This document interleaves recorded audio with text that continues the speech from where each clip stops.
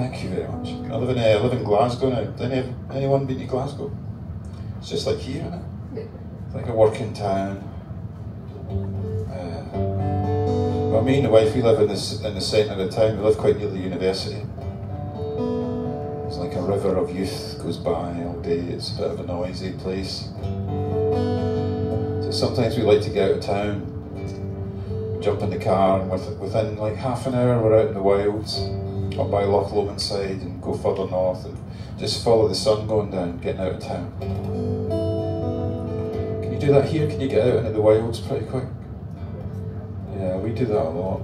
Sometimes weeks are tough and you just want to get out and get some fresh air and space. Uh, we did that one time and we came across this little uh, loch side and there was a, a paddle steamer, an old paddle steamer that was kind of seen better days. It was sitting rusting in the, in the water's edge.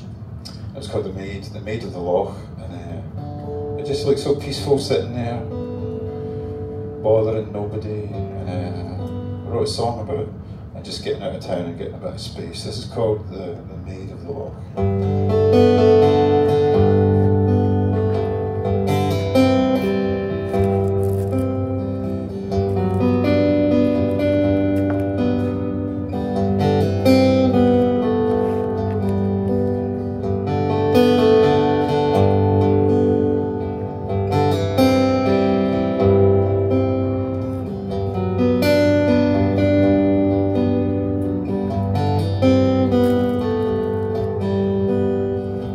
Mosses on the harbour Green and gold in autumn.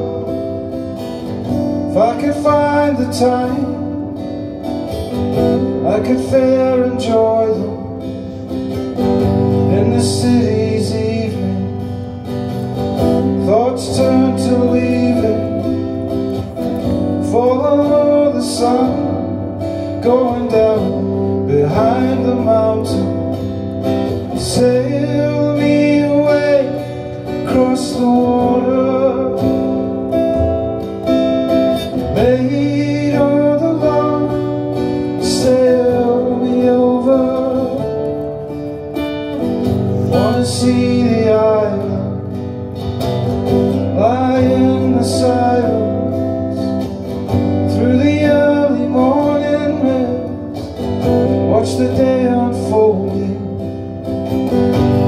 the other side I see how the harbor lights shine.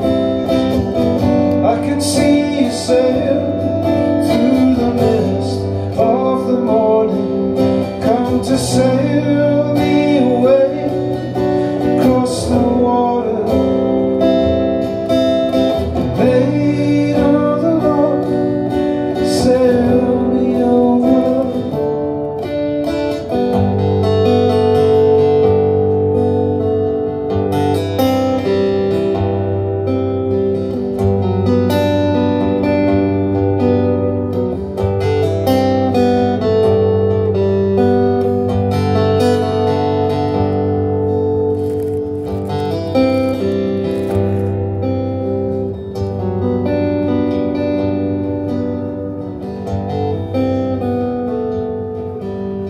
Sail me away across the water